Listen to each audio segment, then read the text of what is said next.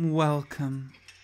I'm Quicksylvan, and this is a short, guided, hypnotic meditation to help you submit to your own power and euphoria. If you need to deal with anything, you can become fully awake and alert easily. But for now, just get in a comfortable position and relax, because it's time to begin. So, focusing on your breathing now, I'd like you to get ready to take a big breath in and to hold for a second. So, once you've breathed in, hold, hold, hold, and then release. And repeat this a few more times holding a big breath, feeling it, feeling the pressure, and then releasing it. And it feels so good when you do so. With every tension you hold and every tension you release, you can feel your mind moving towards a more trance like state.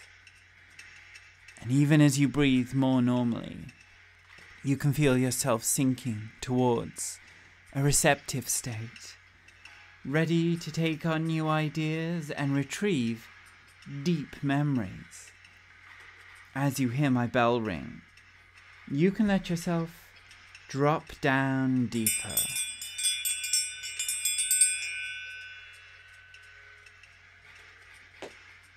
In life, whether for a moment or for a long time, we find ourselves under pressure.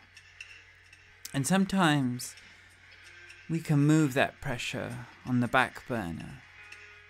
We can consciously be somewhat relaxed.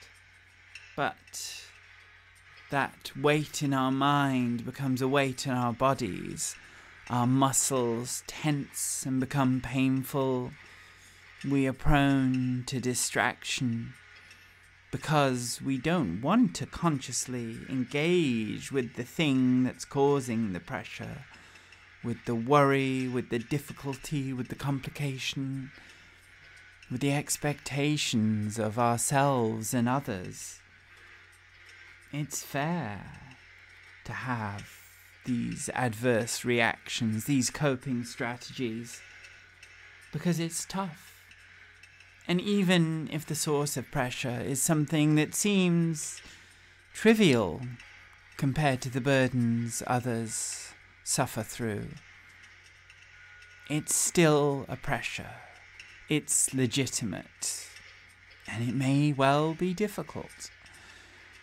But the next time you notice pressure, I'd like you to feel a burst of pleasure, of power, of euphoria as you realize you have grown so strong through all the pressures you've faced.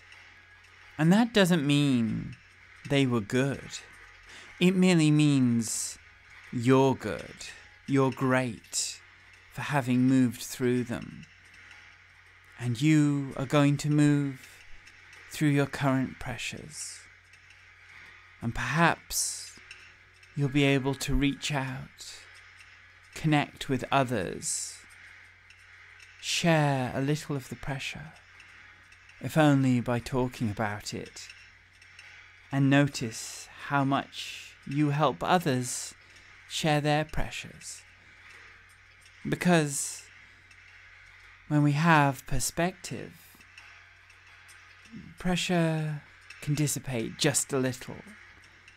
And that can be the start of really moving beyond it, really diffusing the whole thing, and then finding beyond it something so powerful that it was all worth it. Now, you're going to hear my bell ring again. And when you do, you can return to a full state of wakefulness, ready to do whatever it is that you need to do next.